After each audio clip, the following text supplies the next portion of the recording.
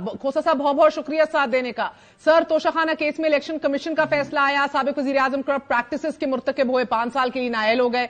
Session court का फैसला सबक वजी आज़म का ईमानदार ना होना साबित, फिर तीन साल की कैद और आज तोशाखाना केस में एहतसाब अदालत का फैसला। सबक वजी आज़म दस साल के लिए अवामी अहदे के लिए ना अहल और चौदह साल कैद की सजा। सर, सबसे बड़ा सवाल हर एक के जहन में यह है कि इतना हाई मॉरल ग्राउंड रखने के बावजूद क्यों इमरान खान और उनकी अहलिया को तोशा खाना की तरफ़ रुख भी करना पड़ा?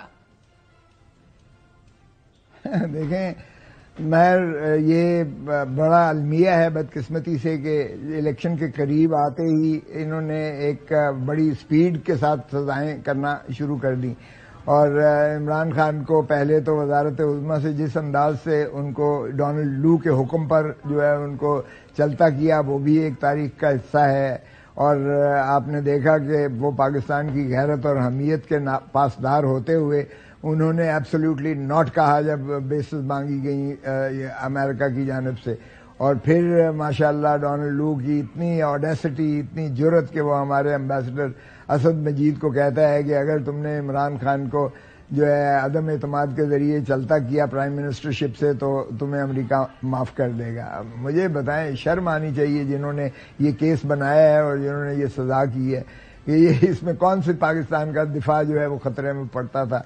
और सुप्रीम कोर्ट ने अपने ही साइफर के केस में जब बेल दी तो उसमें ही उन्होंने बड़ा वादे लिखा कि इसमें कोई ऐसी शवाहद नहीं आई हैं कि पाकिस्तान के किसी दुश्मन मुल्क को जो है उनके इस अमल से कोई फ़ायदा पहुँचा हो। बिल्कुल कोई शवाहद और कोई सबूत और कोई मिसल पर नहीं है, सफ़ाई मिसल पर। और फिर इसके बावजूद ढिठाई से जिस तरह सजा की गई और जिस तरह से वकील को जो है माने किया गया और जिस तरह से सरकारी वकील के जूनियर को जूनियर को जो है इमरान खान का वकील मुकर कर दिया गया, जो आइन के ही मुनाफी है कि आइन बड़ा वाजे कहता है कि लॉयर ऑफ़ हिज चॉइस तो ये लॉयर ऑफ़ हिज चॉइस था क्या? और सुप्रीम कोर्ट ने वैसे भी एक महीने की जो कदगन लगाई थी कि इस ट्रायल को खत्म किया जाए, वो सुप्रीम कोर्ट ने खत्म कर दी थी, कलदम कर दी थी। तो फिर वो तोशे खाने का केस नवाज़ शरीफ का क्यों नहीं सुना गया? तोशे खाने का केस आसिफ अली जरदारी का क्यों नहीं सुना गया? तोशे खाने का केस जो पहले से पेंडिंग था, यूसुफ रजा गिलानी का, वो क्यों नहीं सुना गया?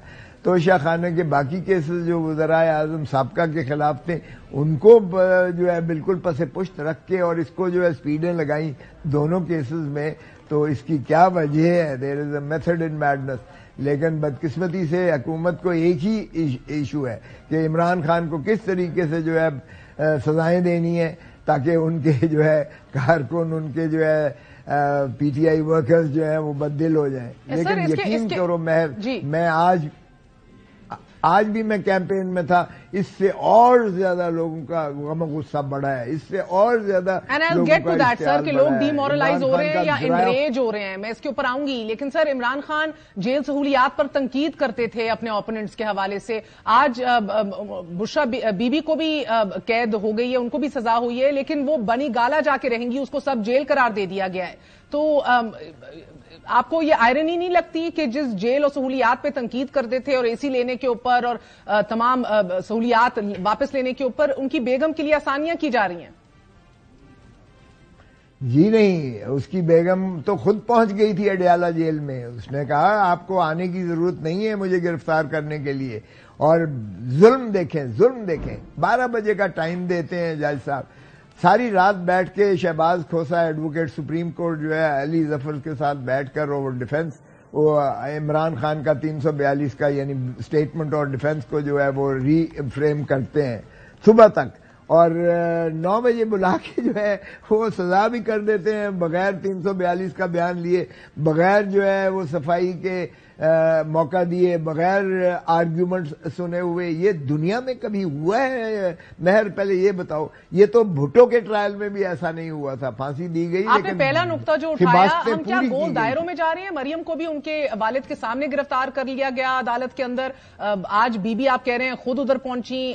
ये हमारी सियासत भी भी दायरों में घूम रही है। कल को आप लोग मिठाइयाँ खा रहे थे लेकिन आज जो रद्दमल आया वो मैं आपको अभी दिखाती हूँ। लेकिन सर पहले पहले ये बता दीजिएगा कि आप केस के ऊपर जो बात करें, वकील नाब अमजद परवेज ने यह मौकफ इख्तियार किया था कि तोशाखाना केस में दसवां वकील तब्दील कर लिया। केस को इल्तवा में डालने के लिए बार बार कोशिशें की जा रही हैं और वकील नाब अमजद परवेज ने फिर इस पर स्ट्रेस किया कि वकला सफ़ाई मुसलसल ताखीरी हरबे इस्तेमाल कर रहे हैं। पाँच से छह मरतबा गवाह अदालत आ चुके, लेकिन जरा नहीं की गई।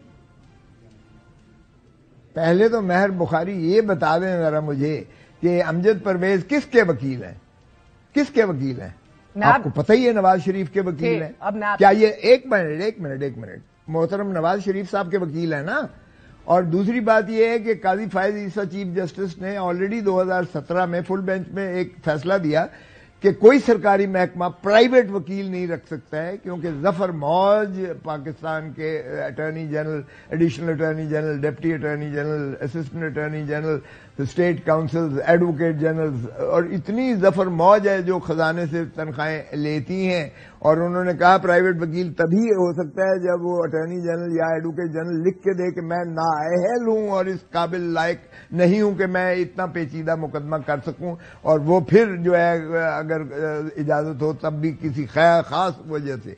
तो फिर कैसे सरकारी नवाज़ शरीफ का वकील? तो इसका मतलब है कि नवाज़ शरीफ की लंडन प्लान की ख्वाहिशात को तकमील की जा रही है। और जो मरियम बीबी ने कहा था कि मैं अडियाला जेल में सफाइयाँ करती रही हूँ तो फिर ये जो है हिसाब बराबर किया गया। और यही हुआ पहले कि इमरान खान को अंदर करो इमरान खान को जो है नाअहल करो इमरान खान की जो है पार्टी को तोड़ो और मुझे जो है ताजपोशी करो। और ये कभी ऐसा भी पलड़े बराबर करने थे ना। मगर मैं आपसे यही कह रही थी कि बीबी को हाँ, तो जेल में नहीं रखा जा रहा बीबी को बनी गाला दुनिया के दुनिया का कोई कानून मुझे मेहर बता दो कि एक कन्विक्टेड पर्सन जिसके परपिचुअल वारंट्स इश्तिहारी हो, अदालती इश्तिहारी हो, उसको एम्बेसडर बजाय इसके कि गिरफ़्तार करके डिपोर्ट करके अडयाला जेल भेजता, उसे रेड कारपेट दे के माशाल्लाह हीथ्रो एयरपोर्ट से एम्बेसडर हमारा भेज रहे हैं। और यहाँ बायोमेट्रिक मशीनें चल के जो है एयरपोर्ट पर जा रही हैं जब माशाल्लाह इस्लामाबाद पहुँचते हैं। जबकि इमरान खान बायोमेट्रिक के कमरे में से हाई कोर्ट में से उसे इस अंदाज से गिरफ़्तार किया गया जिसको सुप्रीम कोर्ट ने खुद उसको मजम्मत करते हुए कहा कि ये गैर आईनी और गैर